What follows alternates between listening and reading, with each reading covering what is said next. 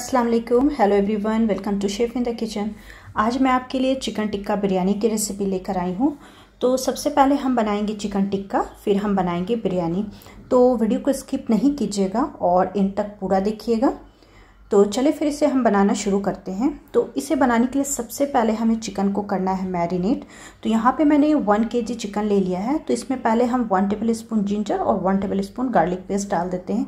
One tablespoon red chili powder, one teaspoon salt और two tablespoon इसमें जाएगा chicken tikka masala. और इसमें डाल देती हूँ वन टी स्पून गर्म मसाला पाउडर, एक नींबू का रस और वन टेबल स्पून डालूँगी mustard oil. Chicken tikka masala आप किसी भी ब्रांड की यूज़ कर सकते हैं और यहाँ पे 50 ग्राम दही। और इन सारी चीज़ों को हम अच्छे से मिक्स कर लेंगे और मिक्स करने के बाद चिकन को हम 30 टू 40 मिनट्स मैरिनेट होने के लिए रख देंगे। उसके बाद हम इसे कुक करेंगे। तो 40 मिनट्स हो चुके हैं तो चले हम चिकन को कुक कर लेते हैं। तो यहाँ पे फ्राई पैन में हम डाल देते हैं ऑयल।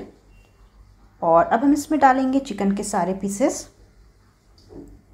तो आप चिकन की कलर देखिए, कितनी ब्राइट कितनी अच्छी कलर आई है। तो ये कलर आपको चिकन टिक्का मसाला से आएगी।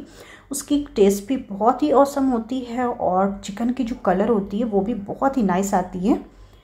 तो इसे हम मीडियम फ्लेम पर कुक करेंगे कवर नहीं करेंगे, नहीं तो चिकन से पानी रिलीज़ हो जाएगी। तो इसे खोल कर हम इसे मीडियम फ्लेम पर एक साइड जब अच्छे से कुक हो जाएगी तो फिर हम इसे टर्न करेंगे और टर्न करके दूसरे साइड कुक करेंगे।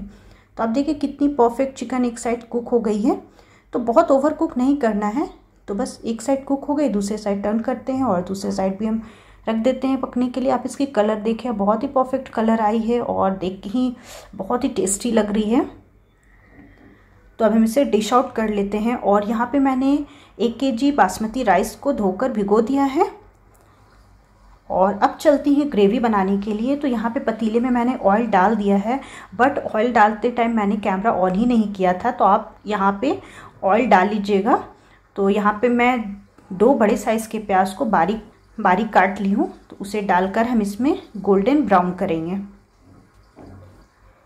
तो प्याज को ब्राउन हो गए हैं तो यहाँ पे मैं वन टीस्पून जिंजर और वन टीस्पून गार्लिक पेस्ट डालकर थर्टी मिनट तक हम इसे सॉरी थर्टी सेकंड तक हम इसे सौते करेंगे।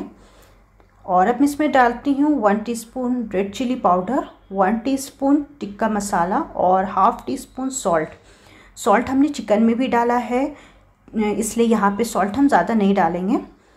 तो पहले हम थोड़े मसाले को भून लेते हैं, इससे जो ग्रेवी की कलर होती है बहुत अच्छी आती है और इसमें थोड़ा पानी डाल दिए हैं और लो फ्लेम पर हम इसे कुक करेंगे जिससे कि प्याज जो है वो थोड़ी सॉफ्ट हो जाए। तो इसे मिलाकर हम लो फ्लेम पर छोड़ देते हैं। तो आप देखिए, प्याज बहुत अच्छे से कुक हो गई है। तो यहाँ पे हमने जो चिकन टिक्का बनाया तो जो भी रिमेनिंग मसाले बचे हैं, उसे हम इसमें डाल देंगे। मसाले को हमें वेस्ट नहीं करना है। सारे मसाले हम इसमें डाल देते हैं। और अब इसमें डाल देती हूँ टू हंड्रेड ग्राम दही। और अब इसमें डाल दूँगी पुदीने के पत्ते, हरी धनिया की पत्ती। मैंने साबुत हरी मिर्ची डाला है। इसे मैंने बीच से चीरा नहीं लगाया क्योंकि मिर्ची हमने चिकन टिक्का में भी डाला, मसाले में भी डाला है तो ज़्यादा तीखी हो जाएगी तो इसलिए हमने चीरा नहीं लगाया। अगर आपको तीखा पसंद है तो आप चीरा लगा सकते हैं। मैंने इसे बिल्कुल साबुत डाल दिया है। तो मसाले आप देखिए कितनी परफेक्ट दिख रही है, इसकी कलर भी और ऑयल भी इसमें से सेपरेट हो गया है। ये मसाला बहुत टेस्टी होता है, इस मसाले से ही आप दो चार पराठे खा लेंगे। तो मसाला बिल्कुल रेडी है तो इसे हम साइड में रख देते हैं और चले चावल को बॉईल कर लेते हैं। तो यहाँ पे पानी को मैंने बॉईल करने के लिए रख दिया है। तो यहाँ पे मैंने एक लेमन की स्लाइसिस कर ली हूँ, दो बे लीफ एक सिनेमन स्टिक एक मोटी इलायची, चार छोटी इलायची, एक स्टार और वन टीस्पून हमने शाही ज़ीरा ले लिया है। तो इसे हम इसमें डाल देते हैं पानी में।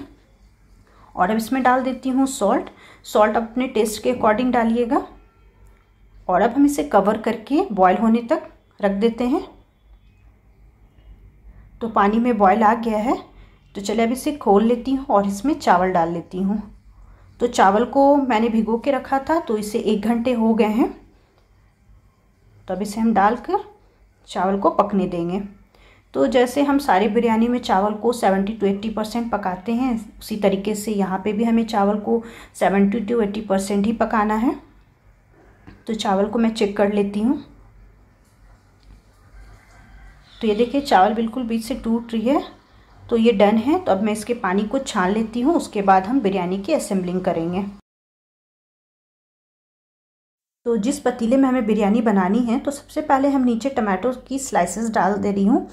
इससे जब आप चावल डालिएगा तो ना तो नीचे आपकी चावल जलेगी, ना तो वो अकड़ेगी।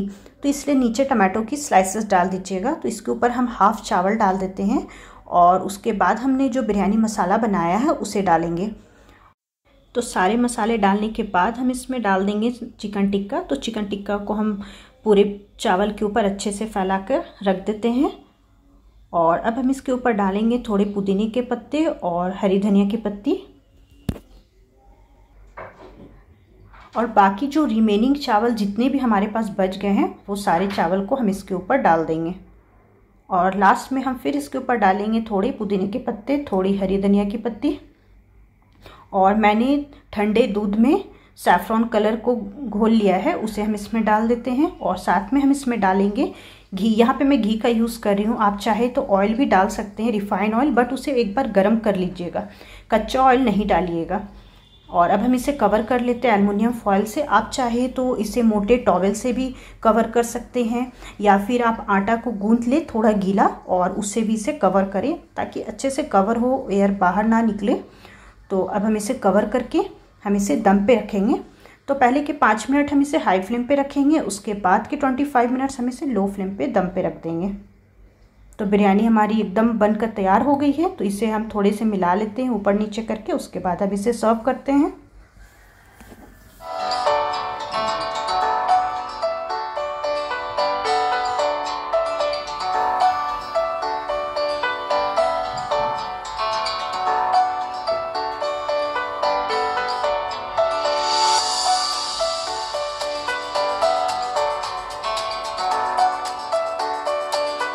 इस बिरयानी से बहुत ही ज़बरदस्त सी खुशबुएँ आ रही हैं तो आप इस बिरयानी को बनाएँ, खाएँ, अपनी फैमिली को खिलाएँ। फ्रेंड्स ज़रूर ट्राई करें मेरे इस रेसिपी को और वीडियो कैसी लगी कमेंट्स में बताइएगा। वीडियो को लाइक कीजिए शेयर कीजिए फ्रेंड्स एंड फैमिली में। और अगर मेरे चैनल में पहली बार आए हैं और आपको मेरी वीडियो अच्छी लगी तो आपसे हम्बल रिक्वेस्ट है कि प्लीज़ चैनल को सब्सक्राइब कर ले। चलती हूँ, फिर मिलूँगी, तब तक के लिए अल्लाह हाफिज़ टेक केयर